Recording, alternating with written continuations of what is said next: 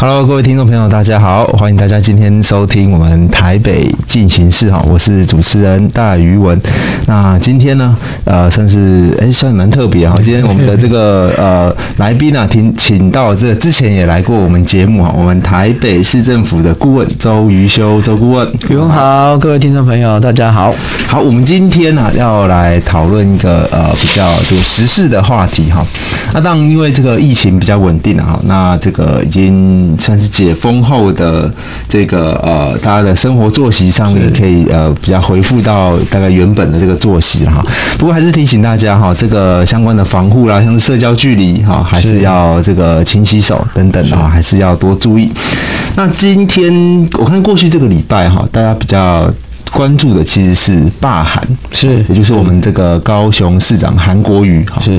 那在上个礼拜六啊，就是六月六号的时候啊，呃，一个罢免这个韩国瑜的这个投票哈，是。后来呢，这个呃总票数是将近九十四万票，啊，算是这个比他原本当选的票数还要多，啊，他原本当选好像是八十。八十八十九，八十九哦，八十九万对，八十九万多票了哈。是是。啊，通过同意罢免的有到九将近九十四万票，好像九十三万九千多票的这样的票数通过了这个罢免是，那韩市长也是第一位被罢免的地方首长。对，行政首长。是。好，那他事实上呢也有一些记录了，好像是过去他在当立委的时候，也因为这个合适新建的这个案子，在一九九哇，就好好久 好久之前，一九一九哦，前他之前有在这个台北县担任担任立委啊，那个时候也有也有也有一个呃。对他提出一些罢免，是，但那时候没有通过，那时候罢免比较困难，比较困难。那这一次呢，他也这个呃，二零一八的时候有这个寒流嘛，嗯，寒流起来之后呢，他这个以八十九万多票，好，算是高票当选，是，但是差不多呃一年。过去这一年以来，哈，可能大家对这个韩市长比较有一些这个施政上面有一些不不一样的看法，是，所以当这一次的投票呢，就以九十三万九千多票，好，这个的同意票呢，已经这个罢免算罢免成功。是，那今天呢是这个礼拜已经过一个礼拜了嘛，是中选会公告之后，现在应该已经是解职的状态了。是是，现现在这个这场罢免其实是对台湾的政治史上。其实是第一次嘛，嗯嗯嗯。那这两天看到这个中央政府也几几乎就指派这个杨明洲，哦，杨明洲是，哎，大家对他好像比较比较陌生，因为一开始大家在讨论是不是陈其迈，好，我们副院长直接代理陈其迈、陈忠燕、王国才，哦，对对对，还有王国才，交通次长哈，王国才，正是对。然后后来是这个杨明洲，他是什么样子的？原本他杨明洲其实是整个从基层一路上来。的公务员，那看起来政党色彩没有那么重。嗯，那现在是高雄市政府的参事嘛？是，所以是纯公务体系。可以看得出来，这个布局是这个。我想中央大概希望说，在这一段代理的期间，嗯，能够尽量让市政回归到常轨嘛。嗯，好，让该运行的其实还是有一个庞大的文官体制在运行。是，这这是第一个。第二个，刚刚余文强大就是政治史上，其实在韩国瑜身上看到，其实是一个缩影啊。嗯，好，这这个载浮载沉，然后这个曾经一度退。居到二线，那后来在二零一八年，这个他坦白讲，他成功的唤起高雄市民对于民进党长期执政的这些嗯想象，说是不是应该要换人，换一下，换个口味，对，会有一些改变。从一瓶矿泉水、一碗卤肉饭，嗯，好啊，中间一度不想选，跑回来台北想登记国民党的台北市长初选，是，哎，对对对，还有这一段，不小心被吴敦义主席发现，再把他拉回去，这样哈。所以你看到说，其实这个。这个其实有有还蛮精彩的一段故事。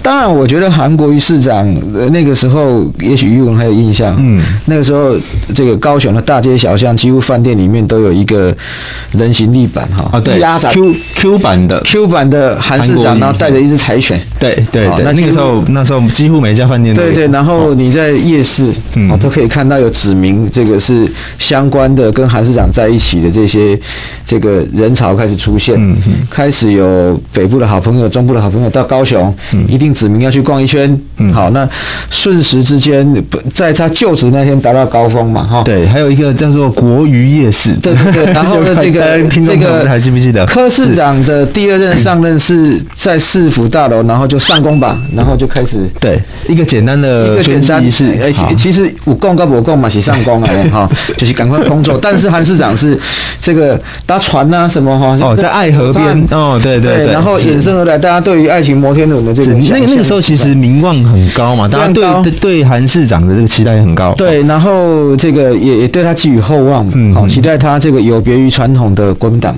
对，那有别于传统民进党那么长期执政。可是后来，我我觉得政治人物有一个件事情，大概是投票基本上是对于对于这个。信任跟一次的契约是，就是我们相互约定，我我我我打利息票哈，那你这四年要做好，四年对，那我四年我就期这个期中考一次，嗯哼，好，这个是这个其实是很简单讲，我我们传统的长辈常讲说，这是头家对新楼的客气啊，嗯，四年就要给你考一单啊，考一变工，你你做这个新楼你。你要记得人民的纳税钱，你有没有认真工作？有没有及格？有没有及格？人民的这个付对，最少要爬得过去啊！哈，但是看起来。是不还不到四年的考试哈，好哥们就觉得说这届新的可能不止不及格而已，，calling 本来在奥里都 歪歪哎，对，这个其实一年啊，因为通常大家有时候罢免，一来是门槛很高，二来是因为是负向的投票，就是你要把你不是选一个人嘛，你是有点要要这个通投票意愿会比较低。那当然，我们于于秀你的观察是什么原因？一年而已，寒流寒流一八年到现在，我我我觉得应该是这样啊，一件。事情是，当然，那罢免有法定的门槛嘛，好，然后有时候有时候有修正过，那这个当然都是国家的体制。我大大概有一件事情，就是，我刚刚特别提到，信任跟跟我们我们讲好，我们我们这四年你要好好做，嗯嗯，好，然后这个四年你就是问问个这详细高的，等于是这间公司的请请几个新楼，请几个执行长 CEO 讲，你传你带整个团队要把公司治理好。可看起来这个有一点这种感觉，就是说这个公司的执行长边做。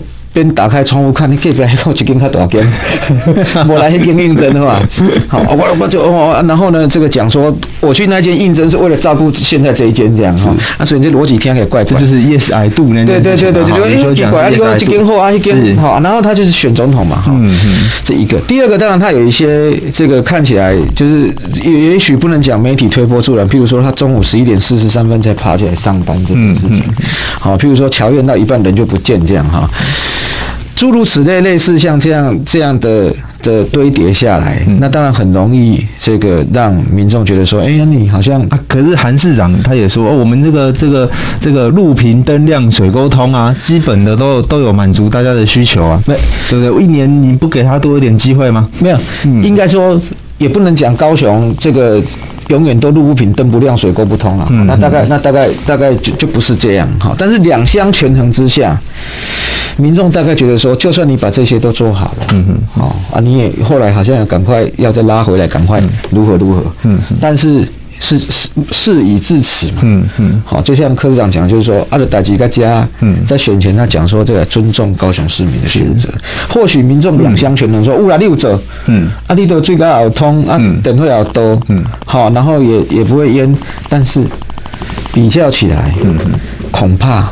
最后的抉择，还觉得说，我们我们不是只期待你做这个，这选题恐怕是需要有更多啊。因为当初大家对韩流的期待应该是有更高，不是只有就是像于秀讲这些东西基础水沟通该做了，该做了，其实是应该是基本的。对，公共体系应该就可以应付。可可能期待会更多，对，会有更高的期望，是比如这个不一样的一个，比如改变国民党也好，改变高雄，甚至改变台湾的政治文化也好，城市风貌不一样，不一样的风格。显然在这方面，韩市长可能。错误认知，认我觉得大概其实包含他在议会答询的那个状况，其实是呃呃，后来他有点感觉有点情绪哦。这个我请局长回答，请 无论问什么都是请 我请某某局长回答。所以网络上大家叫韩总机嘛。哎，在 在台在台北市政府，在柯市长是抢答。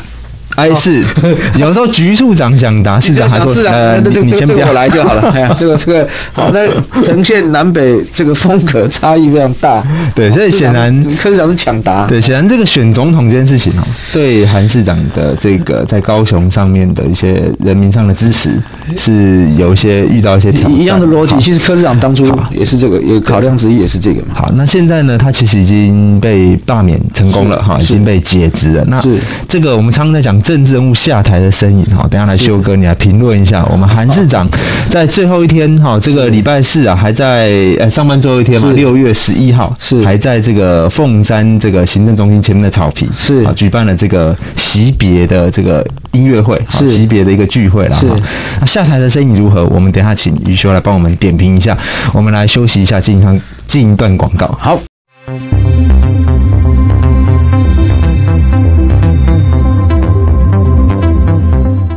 家好，我是食品药物管理司司长吴秀梅。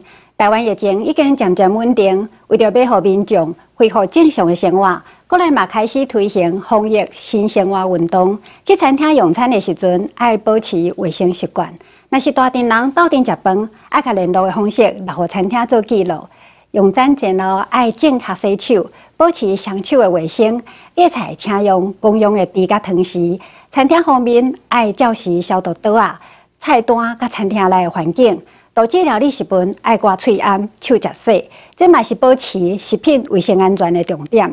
最后提醒你，若有感冒、拍咳嗽，就赶紧去看医生，好好休困。大家斗阵做好防疫生活，嘛会当兼顾着舒适的生活。好，各位听众朋友，大家好，欢迎回来哈，继续锁定台北进行式，我是主持人戴玉文。那我在我旁边是今天的来宾哦，台北市政府的顾问周瑜修周顾问哈。那我们刚刚有上一节啊谈到这个罢韩的一个结果了哈。是。呃，九十三万多票，哈，这个通过了这个罢免案，哈。那现在呃，韩市长已经被解职了，所以现在应该叫做韩前市长了，哈。那他前几天呢，在这个呃上班日的最后一天，哈，举办了一个这个群众的一个活动了，哈，算是一个送别的一个活动。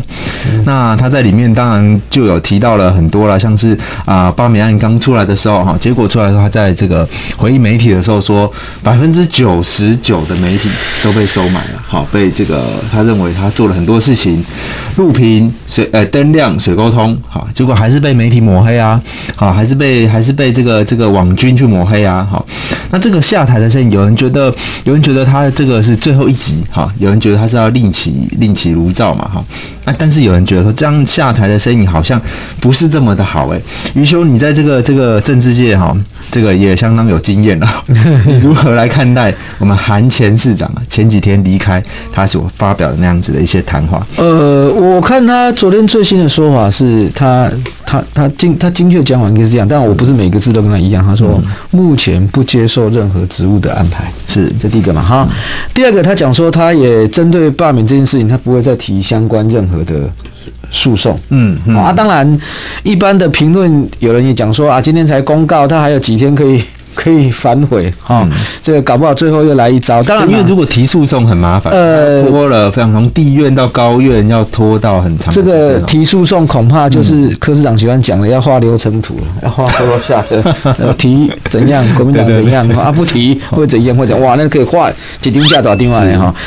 不过大概是这样子啊，就是说呃。看韩市长或看台湾这几十年来的政治的起伏哈，有的时候是红尘浪里，有时候是孤峰顶上了。嗯，不过有一件事情很重要，恐怕不是那种这种引刀哈，这个成一块哈，这个不负少年头，恐怕不是像汪精卫那样讲，而是说民众怎么看这个比较重要。嗯嗯嗯，好，也就是说民众怎么看？我我我觉得太半是这样啊哈，在那个时候还还。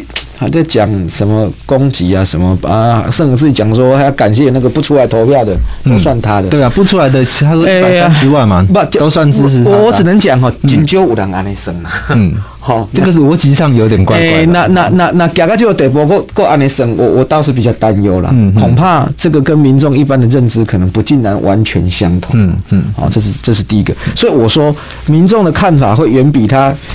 这个这个当事人本身哈，不管这某松快哈，阿是讲一定爱供出来啊！呢哈，这这个我想这个是观这这民众的观感，也许会比较重要。当然我要讲，嗯，今天也有媒体在讲说，哦，那如果是这样的话，那恐怕对于未来要选举的候选人、补选的候选人，嗯。这个当当年的八十九万票，或者是说要把它拉下来，这个罢免将近呃，余文强将近九十四，九十四，嗯，会不会变成另外一种天险？嗯嗯，变成一种门槛呢？嗯，好，那我们也知道这是话语权呐，哈，行共行啊，是谁来决定输赢？啊，你起起码一定要跨过这个门槛。哇，这个这个一定是一个权势的问题，对，就是权势的问题，就啊，你补选要要一定要，或者是说退一步讲说，我选我比较得票率，嗯，好啊，然后当然也有人会去说，那我我投票率代表对这场。选举到底是怎么个看法？嗯，好，说法都很多了哈。不过我觉得是这样了哈。我宁可就是现在相信，好像韩市长昨天已经讲了嘛，啊，他不会提诉讼，然后不会接受任何职务的安排嘛，哈。嗯嗯。我觉得总是要要要有一局一局看的这种这种心理准备啊，是啊，这样对民众来讲也。比较好一点，嗯嗯，好，阿伯大刚看，刚才看过场了呢，哈，其实看久了嘛，是消化还深的，哈，嗯嗯，大概是这样吧，是，哎呀，啊，我们这个下台身影哦，确实是每一个每一个政治人物在不同的时空环境哈，会有不同的选择了哈，是，看韩前市长。他选择用这种方式哈，那究竟未来还会不会有寒流再起的这个可能呢？这可能大家可以再回去好好的再想一想。不过因为这个罢免案可以成功，是因为是。呃，我们前一阵有修法嘛，哈，是。罢免的门槛降低啊，是，那也就是百分之二十五的人是，就是你的选区哈的这个选民二十五百分之二十五的人出来投票。是，那只要是赞成哈。同意罢免大于不同意，是这个罢免就成案。对，好，对，看起来好像很简单，是。好，可是呢，因为有人就讲了，这个当选要过百分之五十啊。对市长来讲，如果是一对一的，确实得票率要过百分之五十，至少把五十点一，你要要要过百分之五十，你才有机会当选嘛。是。可是罢免，你知道二十五趴的人出来就可以了。有人在质疑这件事情，因为事实上是这样，因为是这个呃。这个罢免前面还有好几个门槛，是好吧？第一阶段联署，第二阶段联署，那个其实相对来讲是有一点困难的，是你要让这个呃上千位甚至上万位的民众是拿身份证来这边登记，把这个户籍资料啦或怎么写的非常的清楚，是来参加这个。这个联署，这其实也是相当困难，这比投票还困难了。是，所以这个逻辑上来讲，看起来是一个有一些错误上的一些。我我我觉得是这样错误了哈。呃，余文刚刚讲的就是说我大部分同学，因为制度不一样啊。就是讲你你别你别到你别经济的新楼，跟你不要这个新楼，这个两个，因为就像你讲，它前面有还要有一些联署。嗯嗯。有有一个很很很主要的因素是，给你去吴敬敏投票的话，大概都不不太难呐。嗯。但是给你联署哈。有一些困难，身份证字号，还名哈，那很麻烦的。你不是，就是说，就签很多，你还要把身份证信赖的问题，你要引呐哈。啊，有时候会怕行不行？用杀气呗，会会不会有什么状况？我我觉得应该讲比较基准。还是不太一样，嗯嗯，持平而论是好，呃，比较没有办法从单纯从数字去论数字啊。我觉得他现在罢韩通过了哈，大家现在在讲说下一个目标是不是柯文哲？因为台北市府的这个，我们我们都算是团队的一员，是会不会有担心哈？你会不会担心说哦，市长市长如果如果这个柯文哲哈接下来被罢免，因为对韩市长来讲，他认为这个罢免是有被操弄的嘛？是。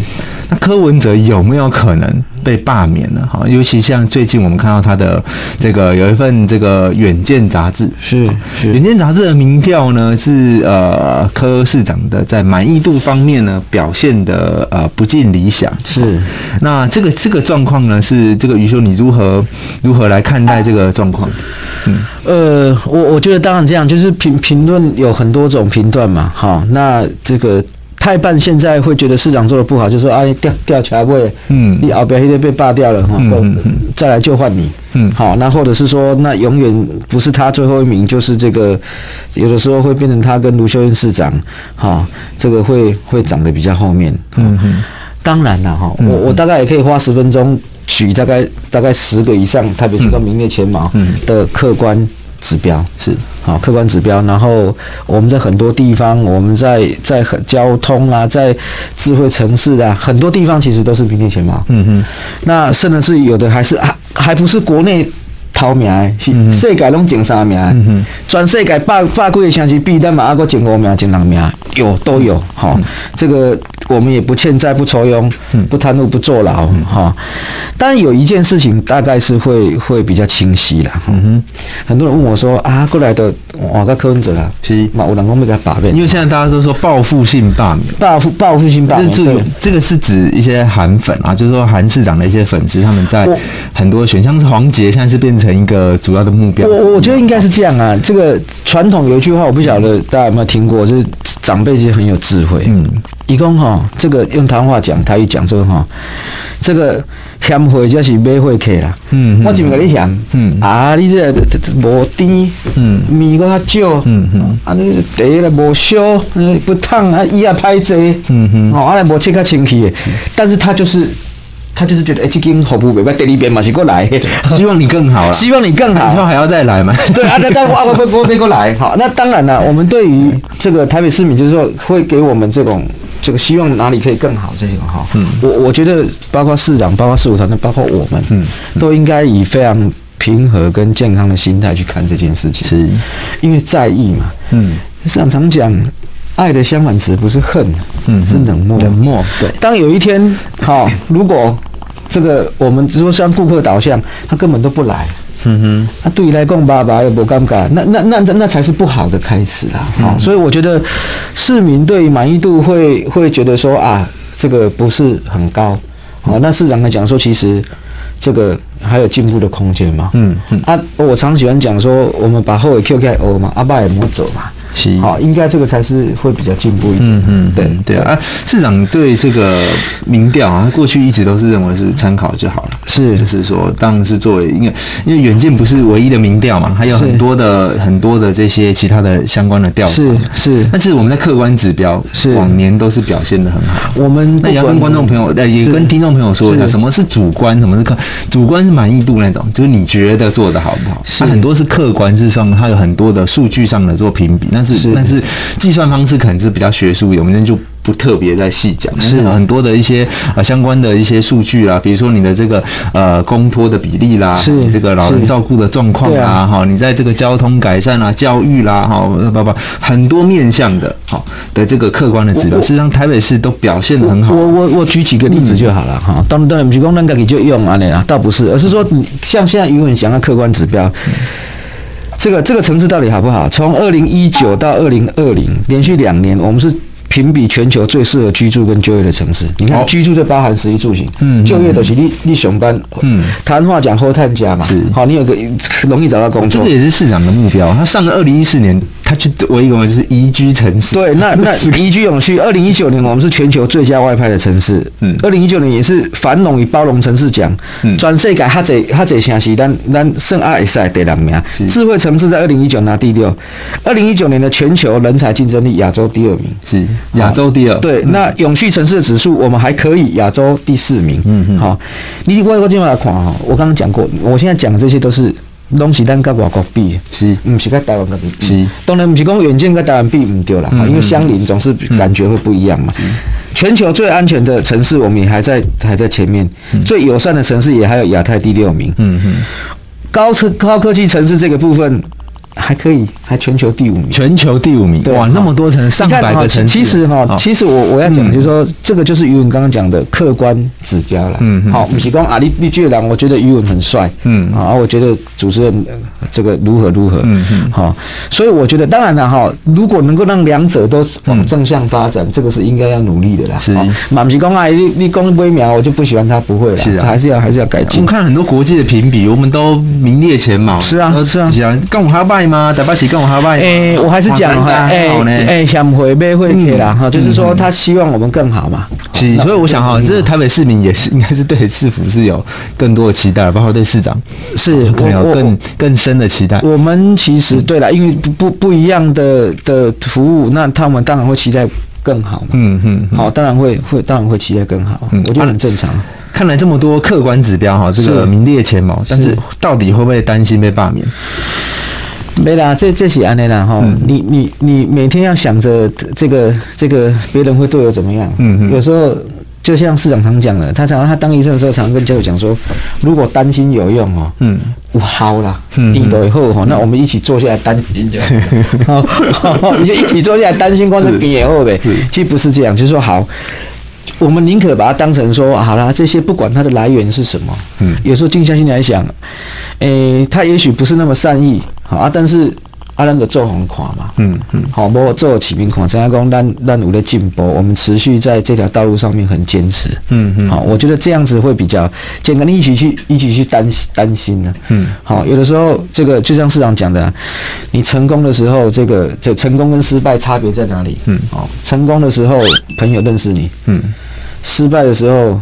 你认识朋友，因为我现在有两锤力嘛。嗯嗯。好，那失败的时候你认识朋友。对对啊，失败的时候你就认识朋友啊，成功的时候朋友认识你嘛。那失败成功，成功失败，这就是人生嘛。嗯嗯。哦，这个很有哲理的一句话。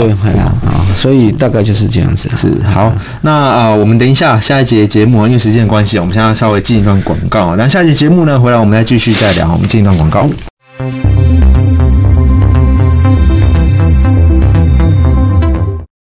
大家好，我是加医科医师陈佩欣。随着疫情稳定控制，指挥中心启动防疫新生活运动，邀请国人一起拥有防疫乐活新态度，在防疫之余也能放松享受生活。贴心提醒：防疫期间，民众仍要维持个人防疫措施，例如无法保持社交距离或搭乘大众运输工具时应佩戴口罩，以及肥皂勤洗手。只要落实防疫措施，民众可以放心参与各项户外活动，例如观赏户外形态的艺文表演及体育赛事，或从事踏青、运动、旅游等有益身心健康的活动，共同打造安心环境，一起加入防疫新生活运动。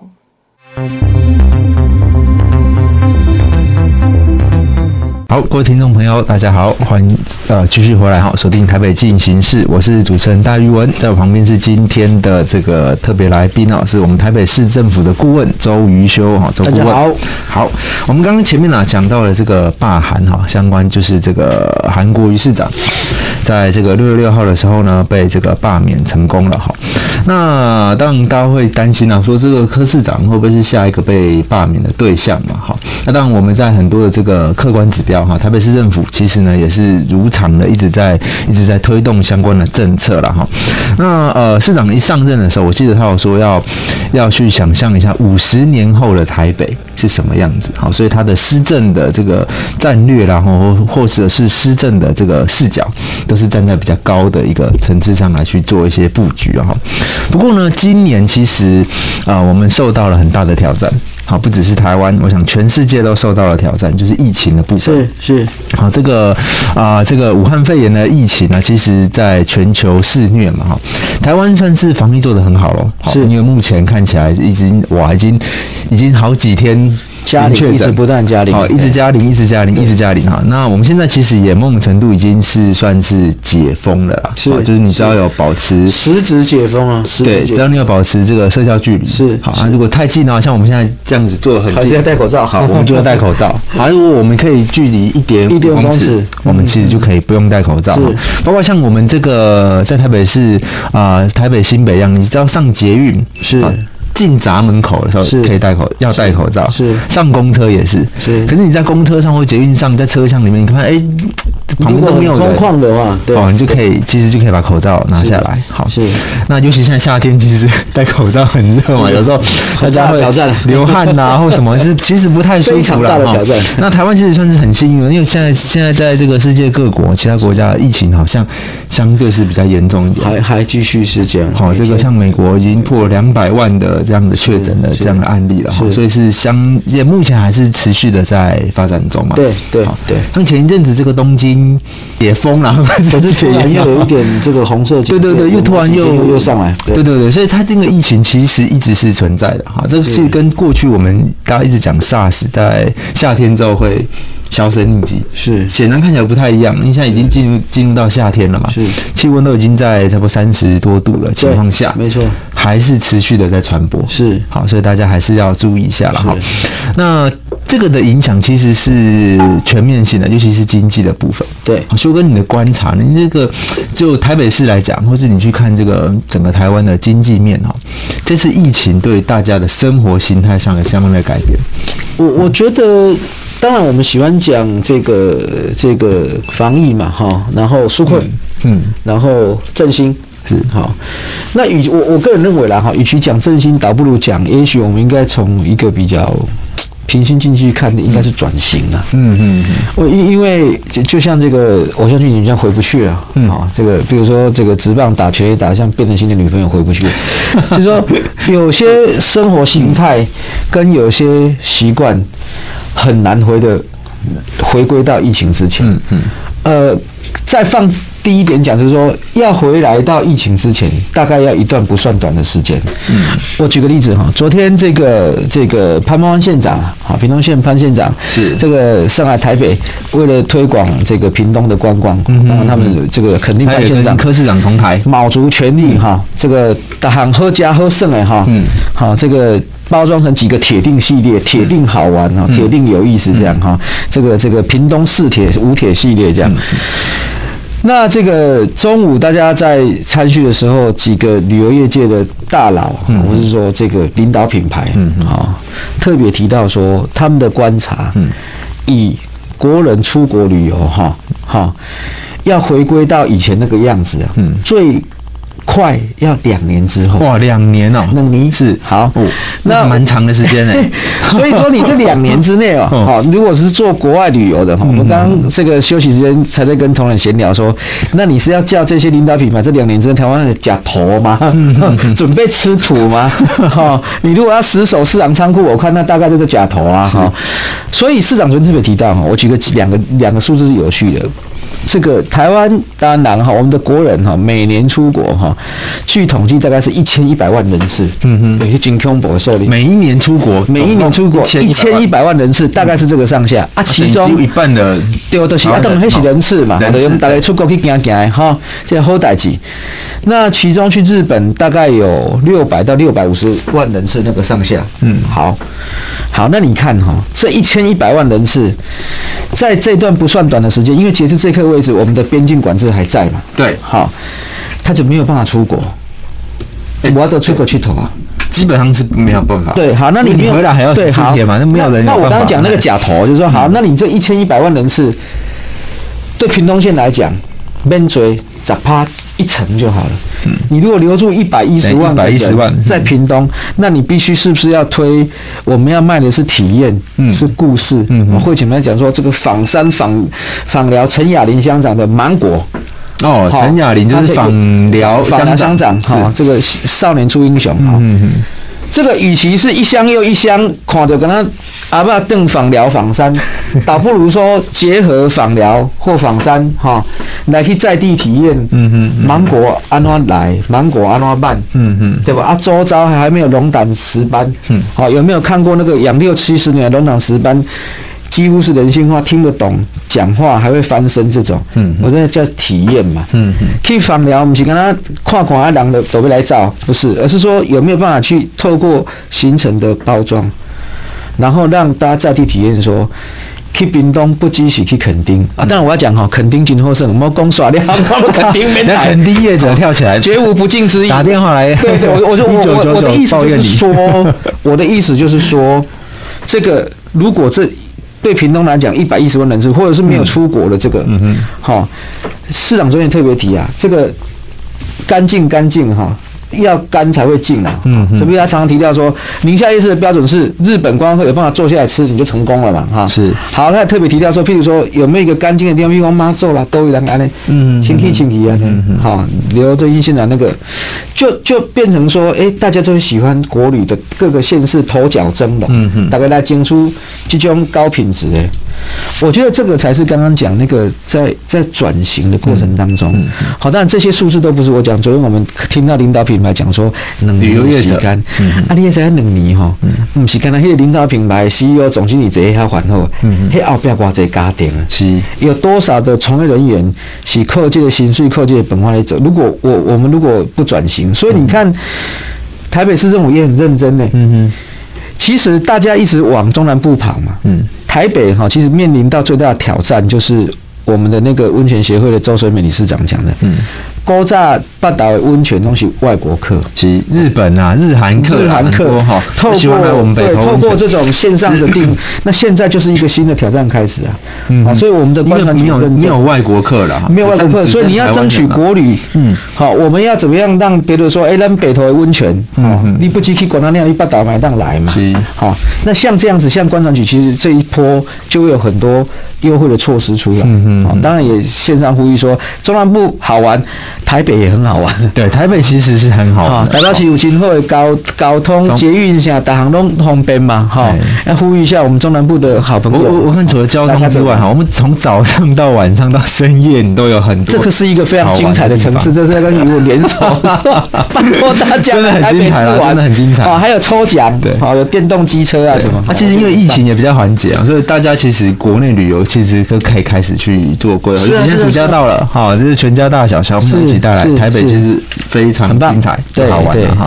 那也跟这个听众朋友分享一下，我们现在这个呃中央政府哈，是像这个旅游局哈，它有有提出这一千元的这个加码优惠啦。是是。那相关的这个资讯，你可以到网网站上有替替中央打下广告，观光局有啦，那个观光局有自由行，呃，有补助外岛还加码一次。对，然后。团体团体也有，团客也有，也团客也有，所以大家是可以多多利用这个，尤其暑假到了，是哦，多多利用这个，算是好康捡便宜。对啊，到处可以走一走，看一看，走走，活络一下。对对对。那另外像是呃，因为这个整个产业影响很大嘛，所以事实上呃，在行政院前前一阵子提出了这个所谓的振兴三倍券，好，那大家觉得有一点复杂。好像市长也觉得，哎，这个操作事实上有点复杂，所以也要跟听众朋友稍微再讲一下。就是他他不，嗯，应该说是复杂，与其说复杂，应该白话讲不不是那么好入门呐。当然，中央政府很认真呐，哈，其实已经穷极各种能够因为因为我们最怕的是说。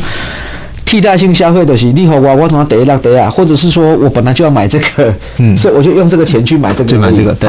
那当然，他们当初当初马马马前总统的这个呃，就是怕这个啦，就是现在当然就是就是怕这个，好啊，当然，所以所以你看，它有很多种方式嘛，这个靠卡的电子支付也可以嘛，好，然后这个这个悠游卡也可以嘛，好，然后信用卡信用卡也可以嘛，那你去你去。超商预这个登记之后去去邮局拿实体券也可以，也也可以嘛。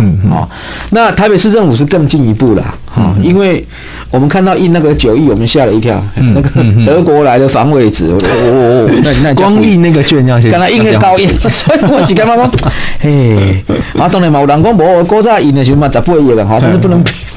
根本那刚开馆哈，所以其实大家还是电子消费是。我还是鼓，就是说呼吁大家哈，这个都来用悠游卡。好，现在台北市局长用悠游付。好，尤其这个悠游卡一个很红的 PS4 的。哦，对，这个好像这 PS4，当然有人讲说，等到拿到的时候，都是 PS5 的真的手法都出来 了。是哈，所以那个这个这个很多管道啊，比如像刚于秀有讲到这个电子支付的部分，信用卡、悠游卡。那事实上你要在呃七月一号以后，你要上网先做登录，是你要先绑定说你要选择是选择哪一哪一个载体啊，哪一个通路这样。对对，因为艺人其实就这一个，就是认身份证嘛。对，认身份证嘛。它后台其实是绑身份证号码，所以你前面你要先认先上网去登记，说你是这个你这个身份证这个人哈，你是绑定的哪一张悠游卡，或是哪一张信用卡，消费累计满三千。我就是要讲这个，就是说好。